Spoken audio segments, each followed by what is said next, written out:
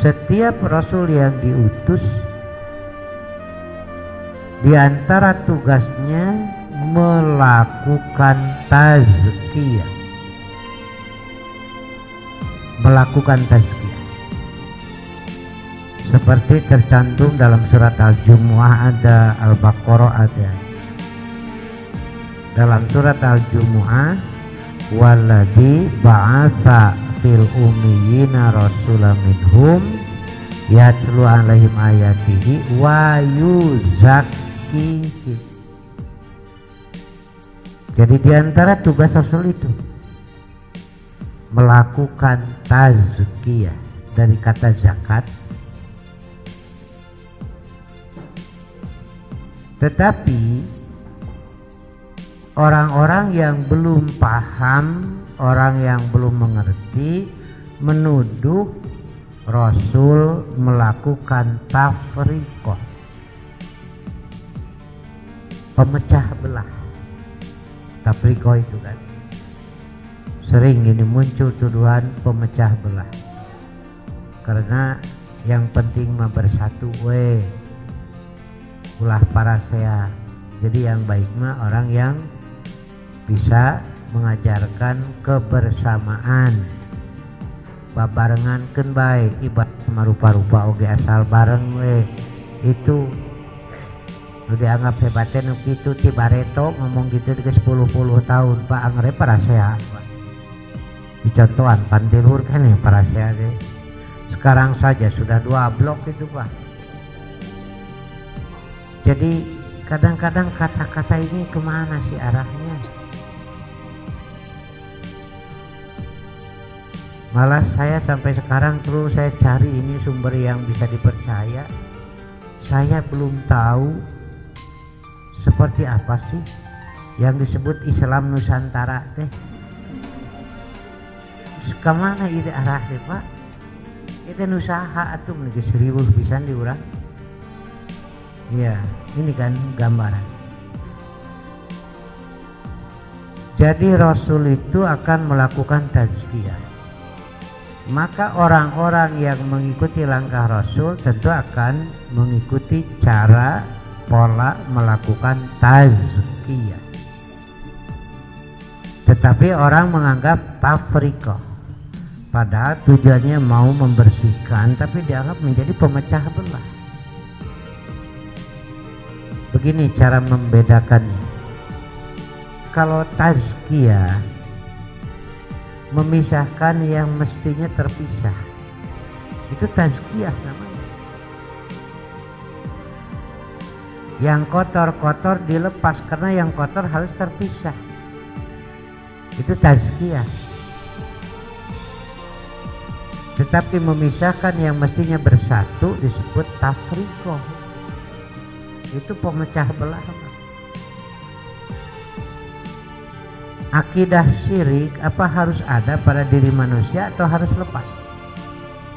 Kan harus lepas ketika orang berdakwah untuk melepaskan akidah syirik dari diri manusia maka orang ini sedang melakukan tazkiyah.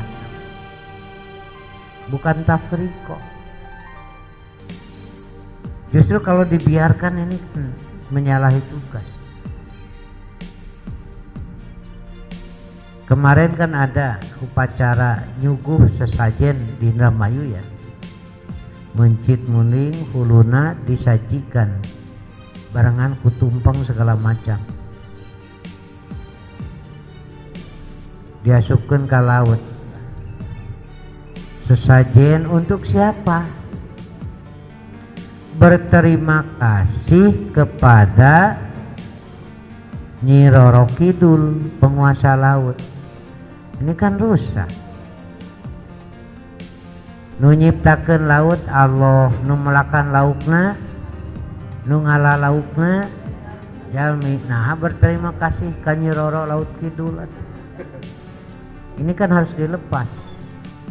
Pika nyeriun teh. Pi omongeun teh pi ayo we nu disuguhan teh nyiroro laut kidul ari nyiroro laut kalera teu bagian tuh pi omongeun we unggul Nah, itu ya. Makanya kita kembali. Nabi Musa itu datang untuk melakukan tazkiyah. Pertama adalah tazkiyatul akidah karena di Fir'aun itu ada akidah yang salah, kotor. Bukan sekedar syirik tetapi sampai pada tingkat mengaku ana robukumul ini yang harus dilepas. Makanya Nabi Musa berkata, pahala ila antasaka.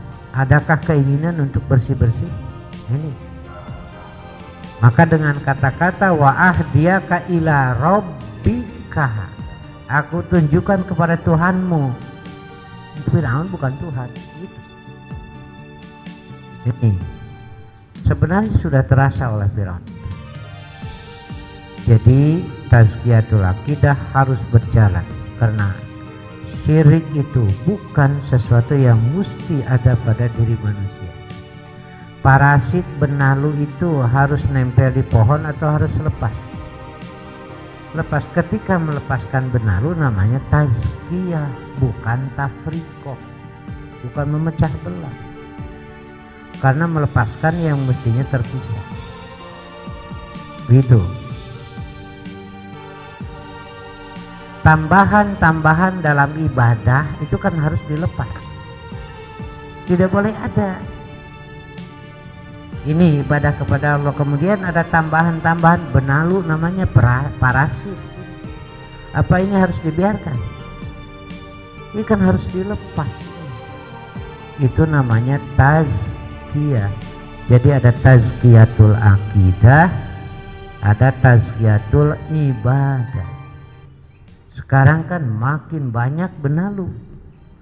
Dengan rekayasa-rekayasa dan dianggap maju lagi. Iya cina Ustaz Nuhade mah. Kenapa? Karena bisa memperkuat kesatuan dan per tibareto ngomong gitu angre para sea sudah berapa puluh tahun ngomong begitu?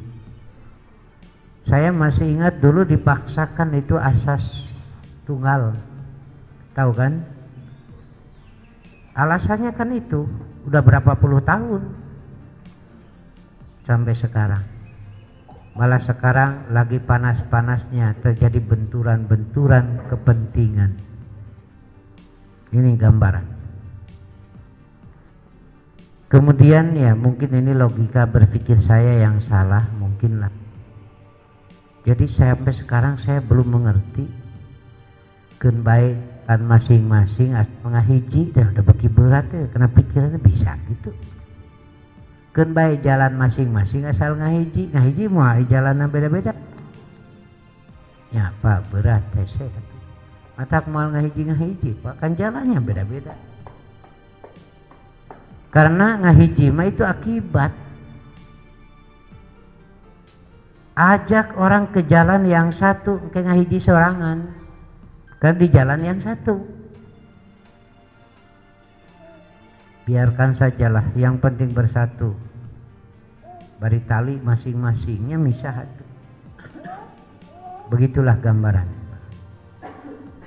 Jadi ibadah-ibadah yang nempel hasil rekayasa pikiran dan asa ini dibersihkan.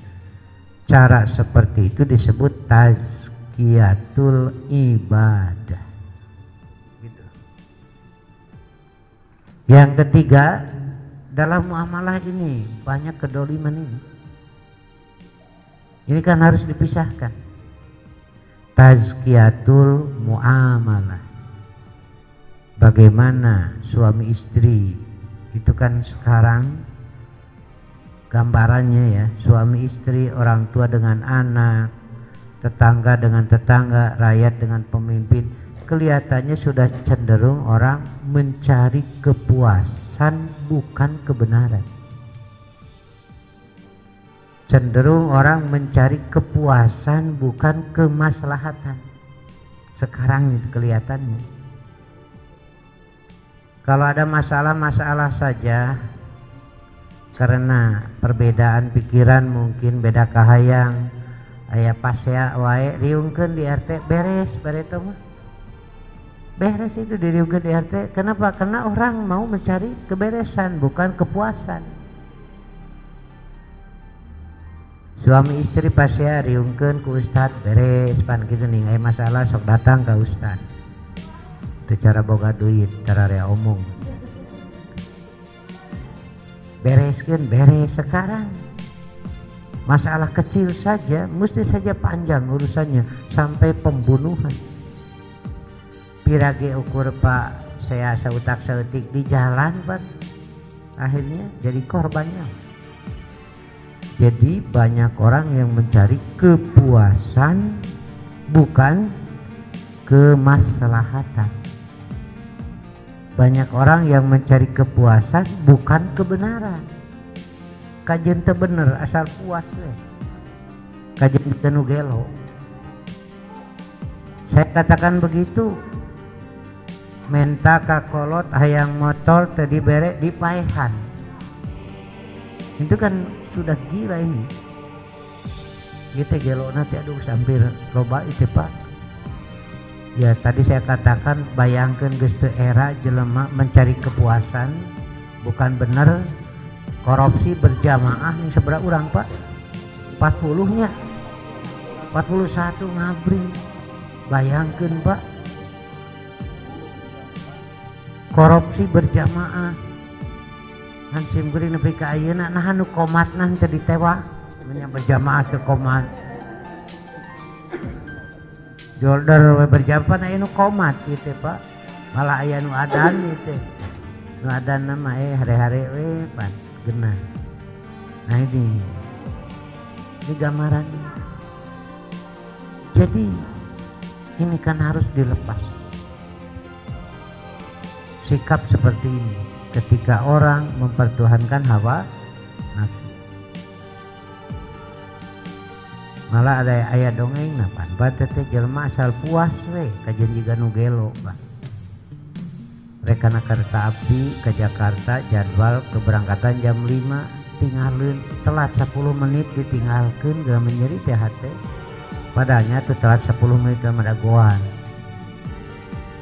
buntut nake katingali kene kereta api hari rek diudak ke lain udah gen tapi batu balik teh menyeri THT teh hate meni teganya kereta api pirage telat 10 menit isuk nama jam 4 ke stasiun dulu ya lempang tihela tinggalkan siapa yang kereta api teh sekali ehwah asal puas we hate Kajian juga nugelo hirup teh. Nah gitu dongeng. No. Ini gambarannya. Karena itulah tugas Musa datang ke Firaun itu untuk melakukan ini tazkiyah. Tazkiyatul akidah, tazkiyatul ibadah, tazkiyatul muamalah. Kotor sekali muamalahnya Firaun ini. Nah ini dilepas. Tapi banyak orang yang tidak paham orang yang melakukan tazkiyah dituduh melakukan tafrikoh ini kan terbalik ya. Tapi kalau memisahkan yang mestinya bersatu baru disebut tafrikoh. Tapi kalau memisahkan yang mestinya berpisah disebut tazkiyah. Itu